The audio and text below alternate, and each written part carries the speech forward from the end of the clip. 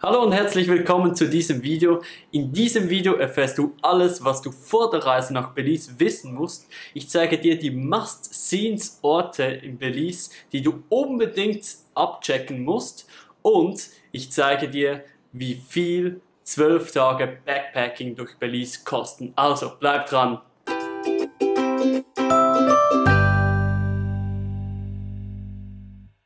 Vorab möchte ich noch erwähnen, dass ich ziemlich einfach und günstig reise. Das heißt, ich gehe nicht in teure Hotels, ich äh, gehe nicht teuer essen in der Regel, ich fliege nicht, ich ähm, reise meistens per Bus oder per Anhalter.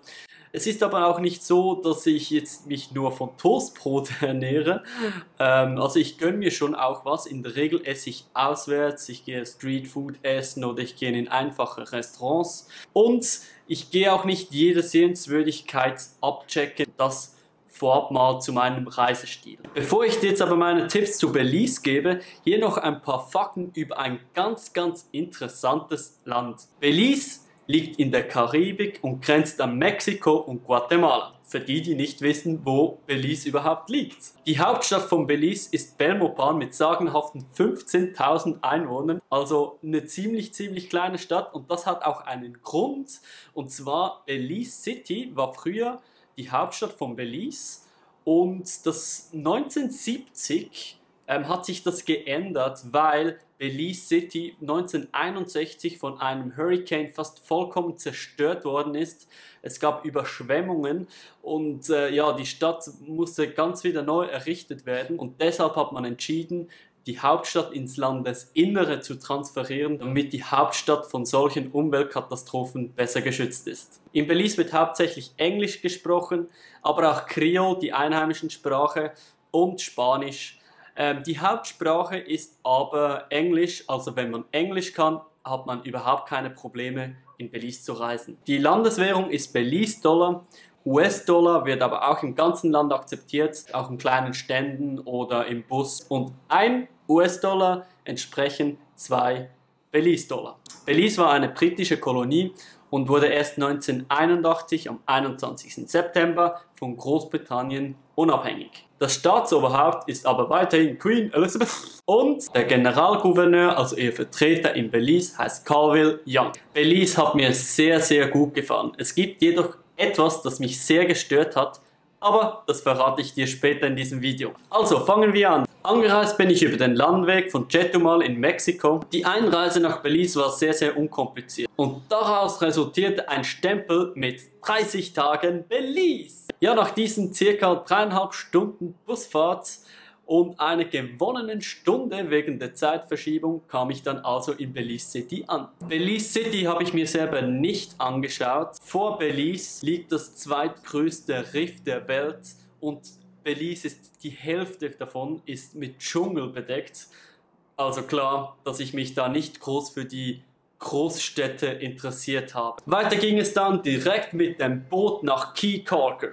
Das hat mich 30 Belize Dollar gekostet hin und zurück. Kikoke ist eine wunderschöne Insel ohne Autos und es ist ein phänomenaler Ausgangspunkt für Tauchgänge und Schnorchelausflüge. Das Motto in Key Colker oder in Belize allgemein lautet Go Slow. Darauf wird man auch immer wieder hingewiesen. An jeder Straßenecke stehen Schilder mit dem Slogan Go Slow.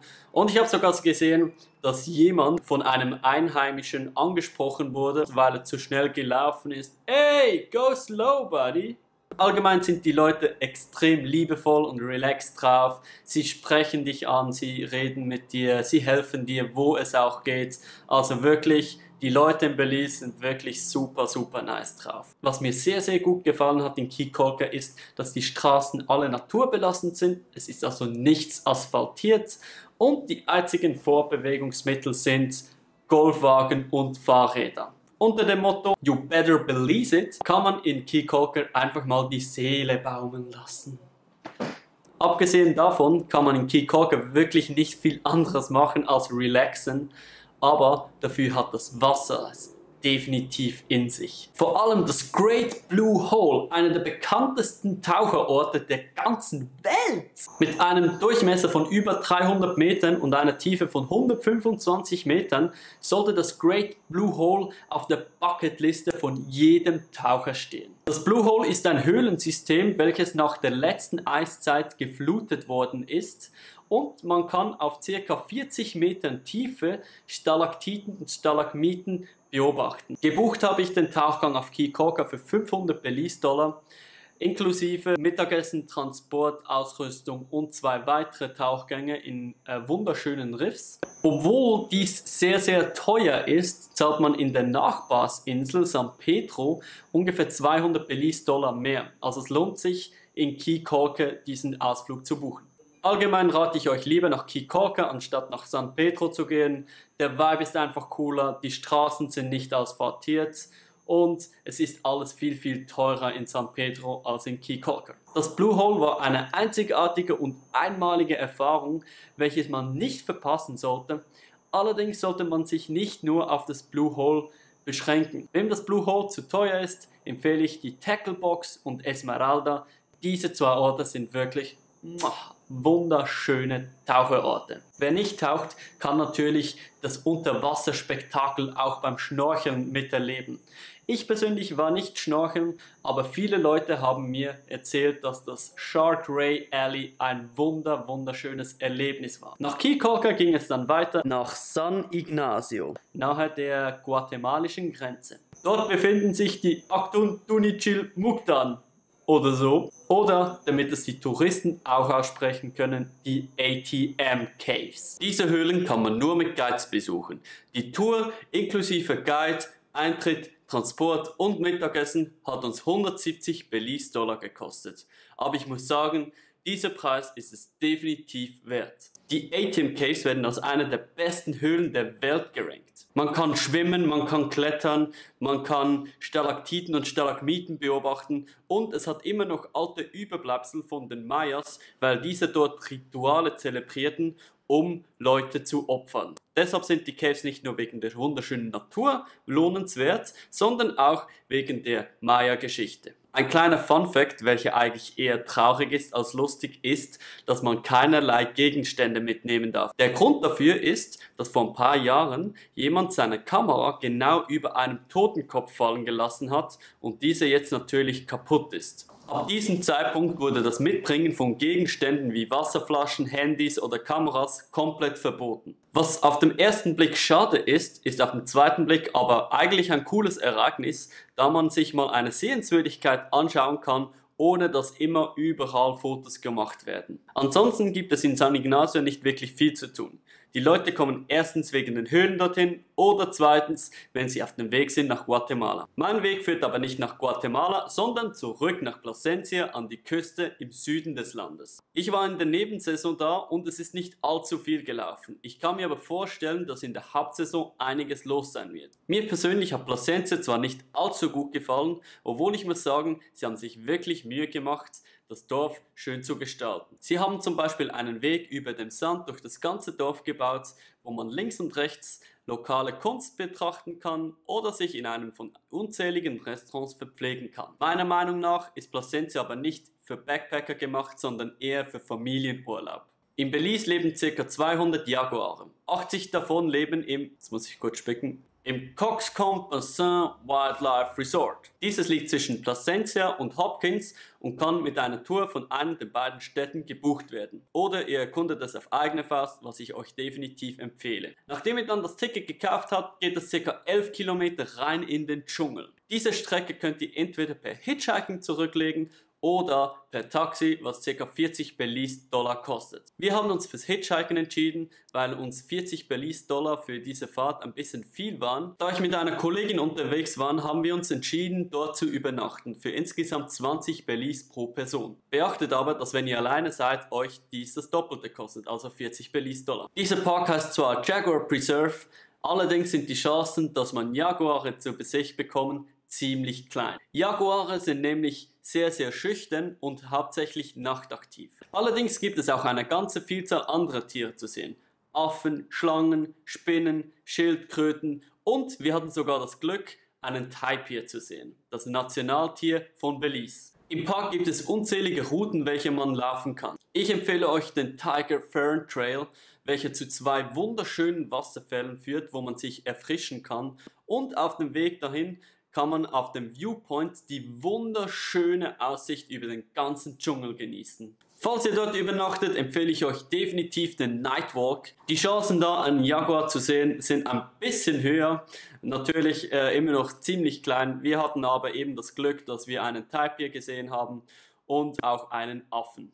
Abgeschlossen habe ich meinen Trip in Hopkins. Ebenfalls ein kleines Fischerdurch mit entspanntem Vibe und man kann mit dem gemieteten Fahrrad durch die Gegend cruisen. Hopkins hat mir persönlich ein bisschen besser gefallen als Placentia, weshalb ich euch auch empfehle, eher nach Hopkins zu reisen als nach Placentia. Der Vibe ist irgendwie ein bisschen cooler, entspannter, der Strand ist ein bisschen schöner und es wirkt halt einfach authentischer. So, jetzt kommen wir zu dem Punkt, was mich am Belize gestört hat. Seaweed.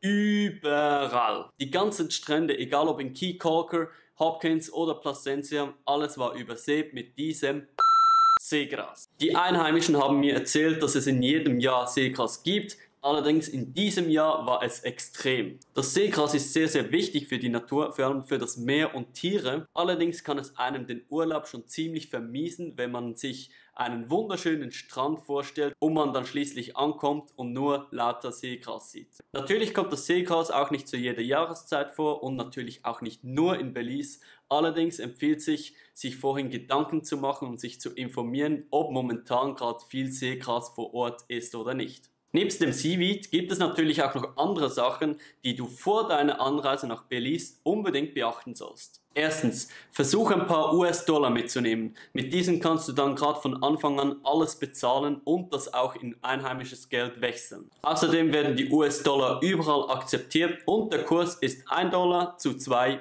Belize-Dollar. Zweitens, schau, dass du deine Belize-Dollar entweder komplett aufbrauchst oder in Belize selber noch in US-Dollar umtauschst weil Belize Dollar ist sehr, sehr schwierig umzutauschen im Ausland. Punkt Nummer drei: Ich empfehle dir immer mit Bargeld zu bezahlen. Wenn du mit Kreditkarte bezahlen möchtest, kann es sein, dass du bis zu 12% Kommission bezahlen musst. Beachte aber, dass das Geldabheben in Belize manchmal eine kleine Herausforderung sein kann. Ich empfehle dir also bei der Ankunft in Belize City gerade zu einer Bank zu gehen und dort Belize Dollar abzuheben, da es in den kleineren Orten zum Teil an Banken mangelt oder es dann überhaupt nicht funktioniert. Punkt 4. Beachtet, dass ihr bei der Ausreise 40 Belize-Dollar zahlen müsst. So, kommen wir jetzt zum letzten Punkt und zwar, wie viel hat mich nun diese zwölftägige Backpacking-Tour durch Belize gekostet? Es waren genau 757 Euro und 2 Cent. Viel Geld, wenn man bedenkt, dass ich nur 12 Tage unterwegs war. Allerdings kann man in Belize auch sehr, sehr viel günstiger reisen. Dies möchte ich mit der folgenden Kostenaufteilung zeigen. Ich habe insgesamt sagenhafte 426 Euro für Tauchen und Touren ausgegeben. 144 Euro habe ich fürs Essen ausgegeben, ca. 97 Euro für die Unterkünfte und 41 Euro für den Transport. Den Rest habe ich für sonstige Sachen gebraucht wie Wasser, Ausgang oder die Ausreisegebühr. Wenn du also planst nach Belize zu gehen, plane genügend Geld ein. Vor allem, wenn du vorhast zu tauchen, zu schnorcheln oder sonstige Ausflüge zu machen. Wenn du jetzt aber low budget unterwegs bist und wirklich keinen einzigen Cent für irgendwelche Touren und Ausflüge ausgeben möchtest, dann muss ich dir leider sagen, dann bist du in Belize am falschen Ort. Denn gerade das Tauchen, Schnorcheln und den Dschungel sind gerade Sachen, die Belize ausmachen und weshalb ich euch auch empfehle, unbedingt nach Belize zu kommen. Wenn ihr keinen Bock habt auf solche Sachen, dann geht am besten in eines der Nachbarländer von Belize, wo ihr dasselbe auch machen könnt für weniger Geld. Ich habe Belize auf jeden Fall sehr, sehr genossen. Die freundlichen Menschen, der coole Vibe in Belize hat es mir definitiv angetan. Ob ich jemals wieder zurückgehen werde, weiß ich noch nicht, aber es ist definitiv eine Reise wert. Ich hoffe, ich konnte dir mit diesem Video einen kleinen Einblick geben und dich für Belize begeistern. Vergiss nicht diesem Video einen Daumen nach oben zu geben, wenn es dir gefallen hat und abonniere doch gleich meinen Channel für weitere solche Videos. Macht's gut. Ciao.